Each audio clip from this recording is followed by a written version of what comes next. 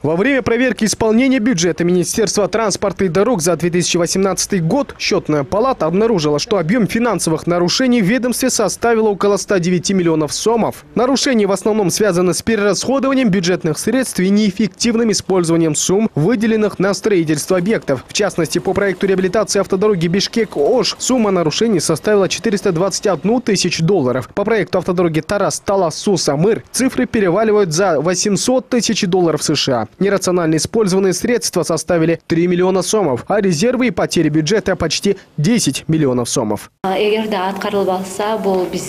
Министерство транспорта должно возместить 108 миллионов сомов. Мы отправили соответствующее предписание министерству. Если же вышеперечисленные суммы не будут возмещены, то мы будем вынуждены обратиться в правоохранительные органы для дачи юридической оценки и во закона.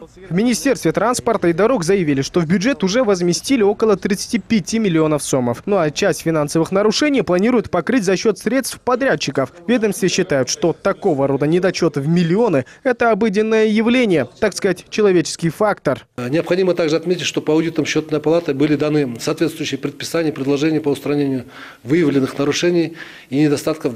И в данное время Министерство транспорта дорог Кыргызской Республики ведет работу по устранению этих недостатков. Необходимо отметить, что никаких хищений и присвоений не было со стороны Министерства транспорта и дорог. Это повседневная производственная деятельность, где могут быть недочеты, которые впоследствии устраняются. Напомню, что по информации счетной палаты Минтранс не раз становился лидером в финансовых нарушениях. Например, в 2017 году в ведомстве допустили объем финансовых нарушений на 257 миллионов сомов. Также так называемые черные дыры, куда утекают миллионы, выявлены и в Министерстве образования. Почти 50 миллионов сомов, выделенных из госбюджета, использованы были по данным счетной палаты тоже неэффективно. Но в Министерстве все списывают на объективные причины. Деньги были использованы рационально, просто поменялись статьи расходов. Это ежегодно бывали факты хищений недостаточно, но в этом году так, как такого не было. В 2018 году, да? Да, да, в 2018 году. Мы же сейчас речь ведем о 2018 году.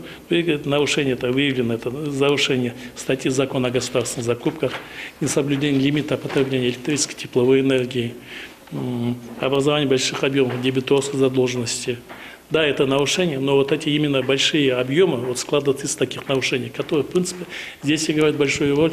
Это человеческий фактор. Счетная палата продолжает проверку на исполнение бюджета за 2018 год. Финансовые нарушения также были выявлены в Министерстве иностранных дел и в Министерстве экономики. В МИД было потрачено более 86 тысяч долларов не по назначению. Ну а Министерство экономики за прошедшие два года в качестве премии выдало более 20 миллионов. По информации счетной палаты, финансовые нарушения в госорганах и на госпредприятиях за 2018 год составили 2,3 миллиардов сомов, из которых в бюджет вернули лишь 1,4 миллиарда.